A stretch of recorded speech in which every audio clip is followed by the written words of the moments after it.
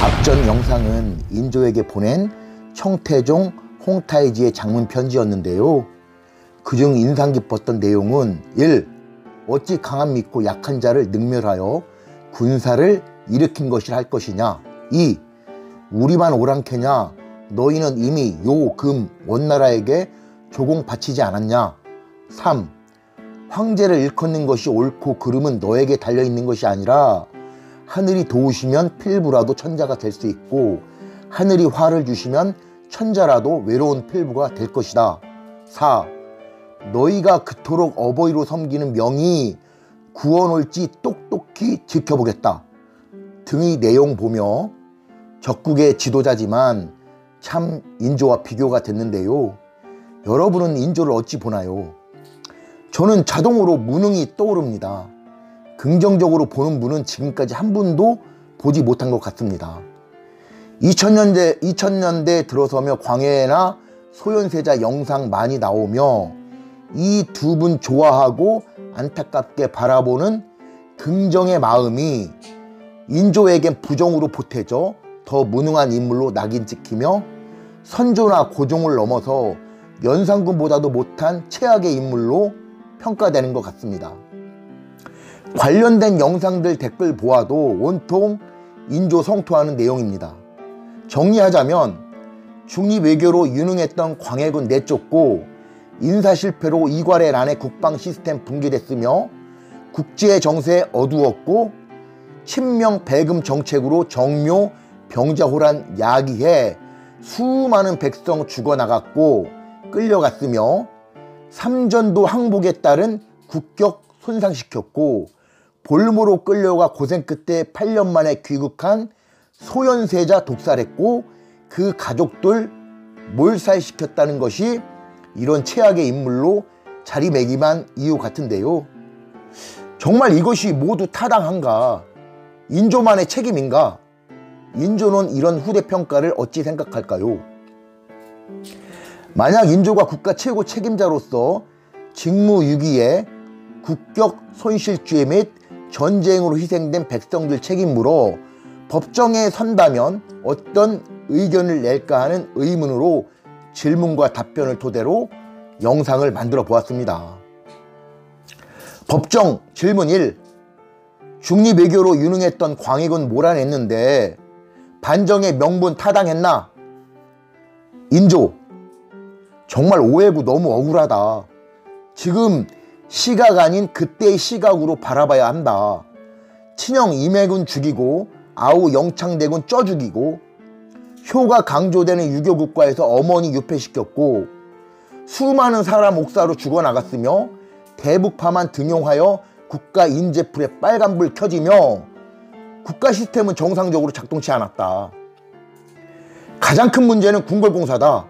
정말 상상을 초월한 대공사였다. 대한민국 세계 10위 경제 대국임에도 1990년부터 시작된 경복궁 보건공사 30년째지만 예산 문제로 고작 25% 진행인데 우리보다 국력이 100배 이상은 될, 것, 될 것이다. 그럼에도 광해군은 7년 전쟁의, 전쟁의 전후 복구 아닌 백성들 삶 외면하고 궁궐 공사만 몰두했다. 창덕궁, 창경궁, 종묘, 경희궁, 정동행궁, 인경궁, 자수궁 각종 공사에 모든 힘을 집중했다. 경희궁은 초기 경희궁 초기 태조 때 경복궁의 4배, 인경궁은 10배 크기며 전방에선 후금 일어나 공사 그만하고 전쟁 대비, 대비해야 한다 장계 올리지만 궁궐 공사는 계속 진행됐고 재정은 거덜났다. 또 궁궐 예산 줄까봐 명의 요청 버티고 버티다 결국 13,000명 사루 전투 파병했지만 만 명 넘게 죽었다. 궁궐공사로 국방 예산 없어 보급품 엉망에 거의 굶으며 전투 벌이다 항복한 것이다. 이게 진정 중립 외교인가? 지금 대한민국 국력으로도 위, 위의 것 다 지으면 국가 거덜날 것이다. 공역은 끝날 기여가, 기약 없고 백성들의 골수까지 뽑아냈기에 자식들 내다 팔았으며 떠도는 자가 줄을 이었고 굶어 죽은 시체가 들판에 그득한 게 당시 광해군 때의 참상이었다. 나는 더는 두고 볼 수 없어 반정을 일으켰다. 물론 사심도 있었다. 왕기가 서렸다고 우리 아버지의 집을 강제로 빼앗아 경희궁 건설했고 내 동생 능창군을 살해했다. 이 때문에 아버지는 화병으로 죽었다. 효의 나라에서 아버지와 동생의 원수를 갚는 것이 그리 잘못됐나? 그리고 나만 가만히 집에 그리고 나는 가만히 집에만 있었던 중종과는 다르다. 다들 반정이 들통났다고 숨거나 나오지 않았다. 반란은 정말 성공하기 어렵다. 죽음을 각오해야 한다. 자신은 물론 영모죄로 온 집안이 처형당하고 부녀자들은 공신의 노비가 되며 모든 재산은 몰수된다. 총대장인 김유도 당일 합류하지 않다. 늦게서야 나타났는데 나는 떠는 군사들 독려하며 앞장서 칼을 뽑았고 도성을 점령했고 대구를 점령했다. 반대로 광해군은 천명도 안 되는 우리 군사를 막지 못하고 도성을 내주고 궁궐을 내주고 그를 위해 싸워준 군사 한 명 없었고 넷이 등에 업혀 도망갔다. 정부의 시스템은 붕괴되고 국정 장악력은 무너졌다. 유배갈 때도 슬피 우는 백성 하나 없었고 후대 실학자들조차도 광해를 폭군이라 했다. 당시에 민심이었다. 잘못이 없다면 대부분 훗날 단종이나 김종서처럼 복권되는데 광해는 복권되지도 않았다. 그리고 처음 광해를 띄운 이는 조선사 편소의 일본인이었고 일본의 조선 지배 정당성 차원이었다. 지금 한국에서 내가 최악의 인물이라 하는데 너무 많이 왜곡되고 역사는 지금의 시각 아닌 당시의 민심 보는 게 맞지 않는가. 당시 광해군을 몰아내라는 것이 민심이었다. 현대에 와서 광해가 억울하게 쫓겨난 유능한 인물로 변한 것을 보고 너무 놀랐다. 특히 광해라는 영화에서 부끄러운 줄 아시오 라는 광해의 대사가 거짓임에도 불구하고 감동하는 것을 보았다. 광해는 백성을 생각지 않았다. 오직 궁궐공사만 몰두했다. 물론 세자 시절 뛰어난 것은 동의한다. 법정 질문이 국제정세를 읽지 못하고 친명 배금 정책으로 정묘 병자호란으로 수많은 백성 죽어나갔고 포로로 끌려갔는데 국정 최고 책임대로 책임 없는가? 인조 물론 책임 크다. 오판도 많았고 지휘관도 잘못 등용했다. 인사 실패였다. 기본적으로 우리 반정 세력 내 인재가 많지 않았다.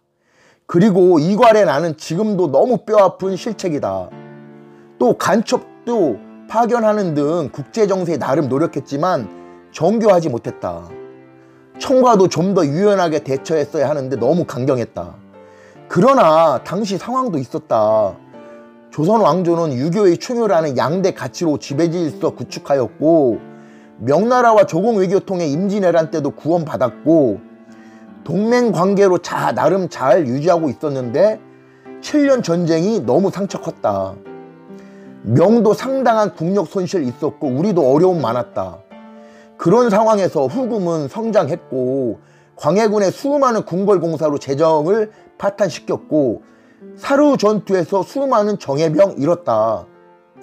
나는 반정 후 모든 공사와 노역을 중단시키고 국가 재정 확장하며 백성들 살폈다. 그리고 지금의 시각에선 청의 승리 명백해 보이지만 당시 우리들은 비록 명이 쇠퇴해가는 것을 알았지만 그리 쉽게 멸망할지 몰랐다. 따지고 보면 청보다는 이자성 반란 및 반란 및 산해관 지키던 오삼계의 투항 때문 아닌가. 자력으론 어려웠을 것이다. 아무리 청이 성장했다 해도 명은 1억이 넘었고 청은 고작 100만이었다. 만에 하나 명과 단절했는데 청이 진다면 우리는 곤란해진다. 만약 한미 동맹에서 중국이 강해진다 해서 쉽게 동맹을 파괴할 수 있는가? 물론 내가 홍타이지를 자극하지 않고 칭지의 문제를 좀 더 유연하게 하지 못한 것은 후회된다. 홍타이지가 그리도 존엄 문제에 집착했는지 몰랐다. 즉위식에 우리 사신들이 황제에 대한 이해를 거부하고 다음날의 행사에서도 성찬을 없는 등 격양된 반응을 보인 것은 너무 잘못했다. 수많은 사신들 앞에서 뽐내려 하던 홍타이지의 자존심은 너무 망가졌을 것이다. 그러나 청도 문제는 많았다.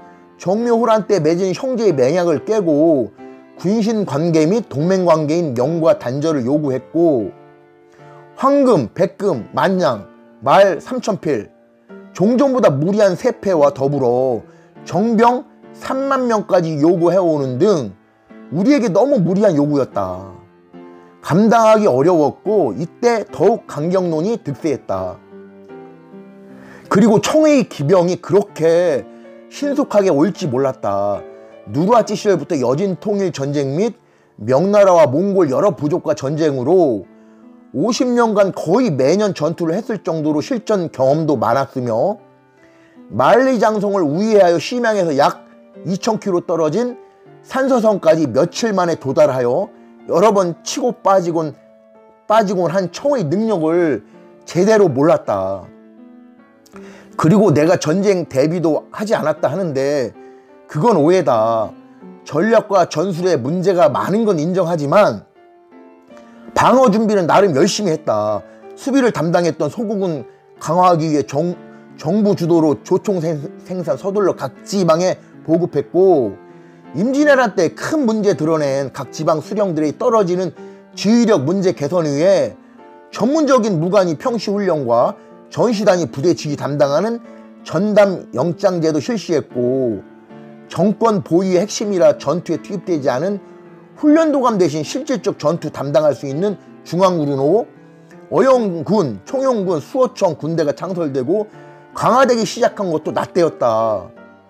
이러한 노력들 통해 병자호란 직전 어영군 6천, 총영군 2만, 수호군 14,000, 훈련도감 5천 등 병력 준비되었고 전국적으로 9만 명가량의 소고군도 편성되었다.